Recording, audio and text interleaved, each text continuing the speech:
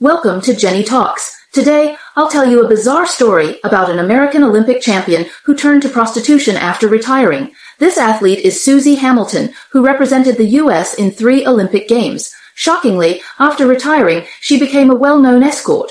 Was it because she needed money? Actually, no. There's more to the story. Let's start from the beginning.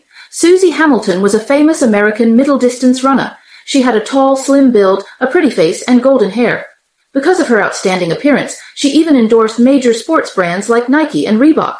In the 1992 and 1996 Olympics, Suzy won bronze and silver medals in the 1500 meter race, respectively.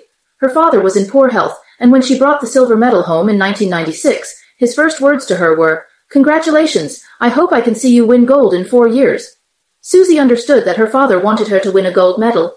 Suzy didn't have a good relationship with her father. Her teenage years were spent under his strict demands, she wasn't interested in track and field initially, but her father forced her to run five kilometers every day.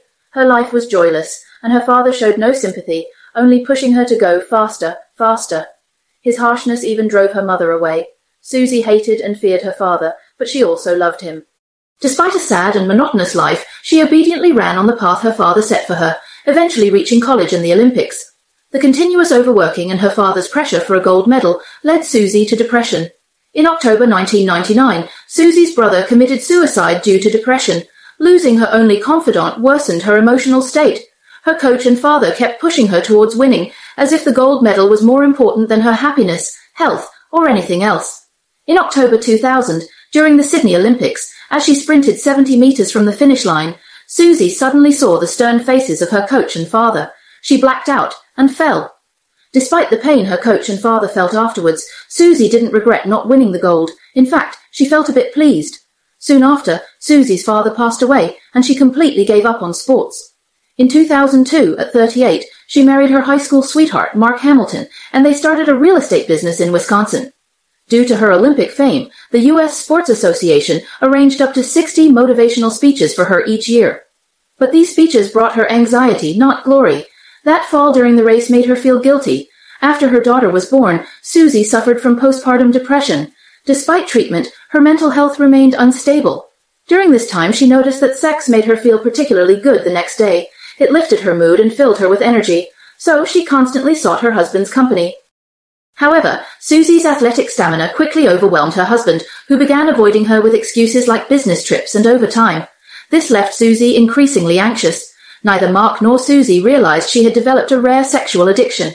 This condition often affects men and women in their 30s and 40s, similar to addiction to drugs, gambling, or alcohol. When the urge strikes, they will drop everything to seek relief, eventually becoming psychologically dependent. To make his wife happy, Mark bought her a ticket to a male brothel in Las Vegas. Suzy loved it.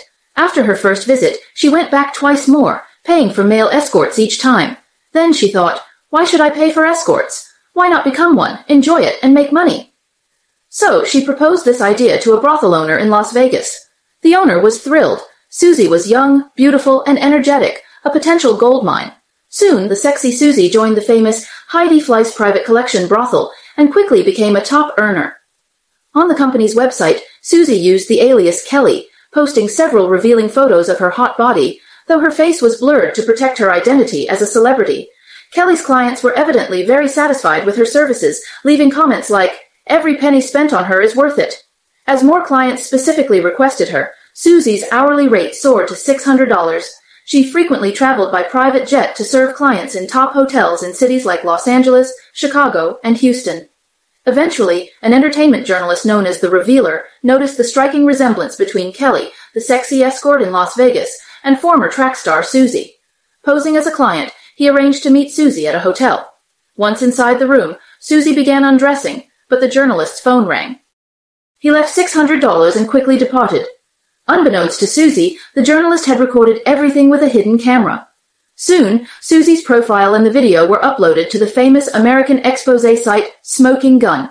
The revelation caused an immediate uproar in the U.S. Even more shocking was that Suzy's husband, Mark, knew all along about her second career as an escort he told reporters, She is so passionate about sex. Seeing it lift her out of depression, what could I say?